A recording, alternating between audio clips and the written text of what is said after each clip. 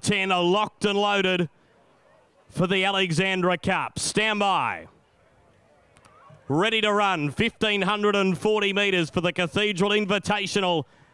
Alexandra Cup. There they go. The cup fielder on their journey now. Slowing to stride was Costa Maya. Breaking well was unanchored. Lucky Spinner going forward. Loverducky's on the march as well. Likewise, Goldwyn, who's going to have a sit just behind the speed. Then came 11B. Costa Maya, Fontaine Bolt. Getting back was Aristobo. And last striker out brought up the tail end of the field. In this order, the cup field running to the back. Goldwyn kept on pushing on from wider out. It's going to find its way to the leader's roll. The Kilgowers are going going for a treble. It leads out. There's a wall of them up on the speed as they run into the back in the cup. Going with it as well was the stablemate Lucky Spinner and Lover Ducky's up on the premises too. They run along the back. Fontaine Bolt's been able to take the sit behind the speed and like, likewise as Chili Dog who's camped just behind them. 800 metres left to go. Then came unanchored. Costa Maya was next. Further back in the field to 11B. Then come Aristobo who was amongst the last. They work down the side of the course. Last striker out brings up the the tail in and has the best part of six or seven to make up. They are a uh, they are a bunched up cup field, leading the way. Lucky Spinner,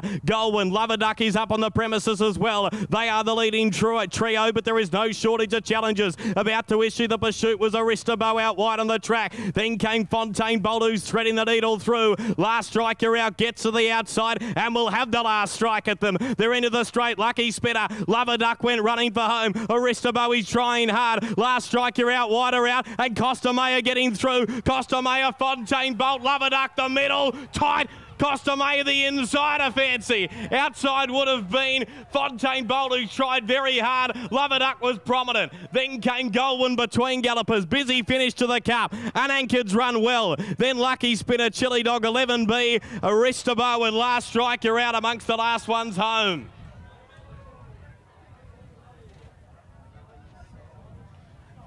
And there's a margin for Costa Maya. And Troy Kilgower can take a bow. He's having a day out. He's won three races on end, races three, four, and five. He's got a lead in fancy in the last as well.